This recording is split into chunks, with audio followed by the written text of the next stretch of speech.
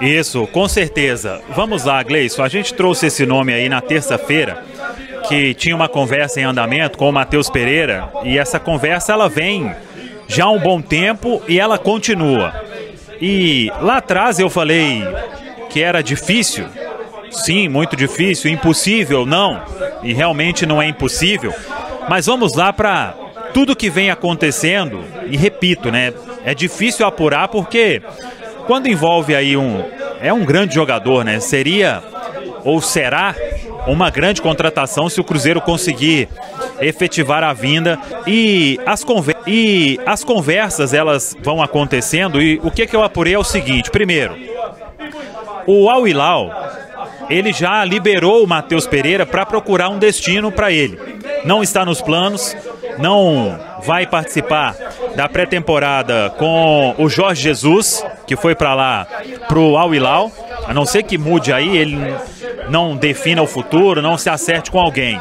Então, questão de empréstimo com o clube árabe não teria tanta dificuldade assim. Se vai ser um ano, um ano e meio, isso, isso não é empecilho. Se, se for um ano e meio, que é até o final do ano que vem, melhor mas se for um ano também, bate o martelo. Então, essa questão já, eu diria que está mais do que superada. Claro que é tudo aquilo também que a gente vem falando no tempo dos árabes, né? Porque uma hora é isso, outra hora é aquilo. Mas enfim, se o, se o Al Hilal falar, Cruzeiro, a gente empresta um ano apenas. Beleza, o negócio está fechado. Agora, tem também a parte do Matheus Pereira. Ele é agenciado, ele trocou. Acho que ele nem tinha empresário direito e agora ele tem um, um novo agente. E o que a gente apurou é o seguinte: tem um ponto importante que é o que o Matheus recebe lá na Arábia. Quando ele foi para o Al Hilal, não foi projeto esportivo, foi grana, porque ele recebeu muita grana de luvas e recebe um salário, Gleison, que eu vou falar mais ou menos aqui, no, no meio do futebol, né, eles falam salário net, né, que é por ano limpinho.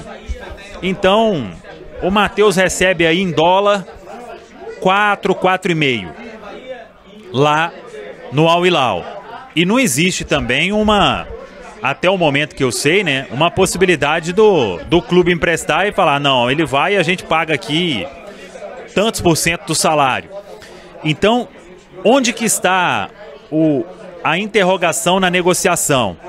As conversas que vêm acontecendo com Cruzeiro e Matheus para chegar num salário dentro do que ele pretende.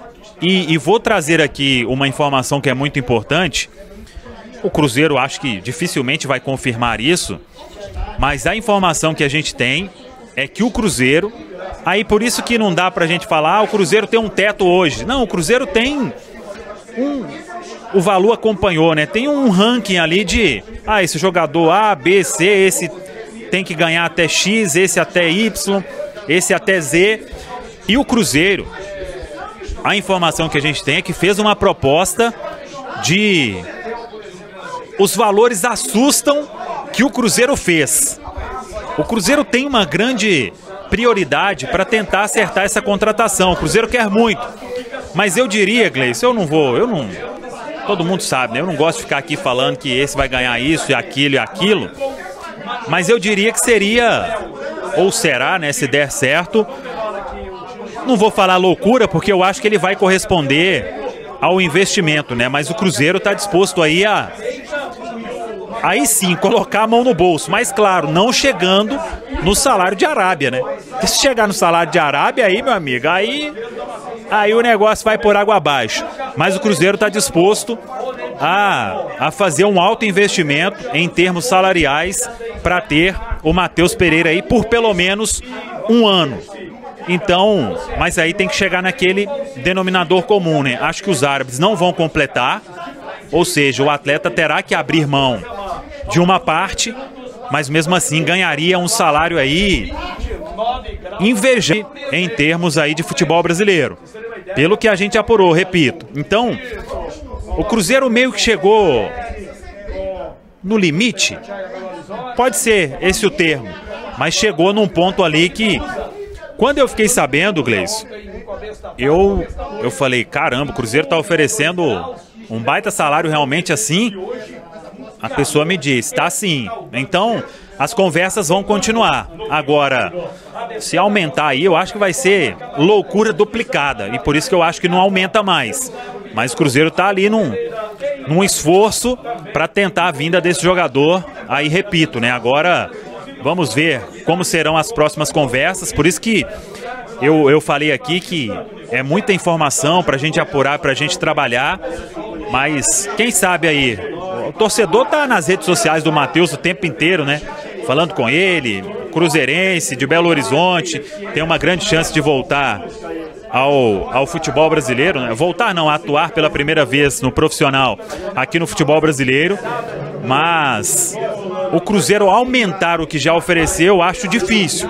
Então vamos seguir acompanhando, mas volto a afirmar, a informação é que esses valores aí eles assustariam em outro momento que o Cruzeiro ofereceu, Gleice, mas o Cruzeiro tá tá disposto, tá disposto, quer muito, mas aí tem que tem que ter aquele meio termo, né? O Cruzeiro já coloca a mão no bolso de um lado e o atleta com o staff tem que tirar um pouco do outro para que dê tudo certo, viu, Gleição? Ah, Samuel, torcendo já desde já, iludido estou.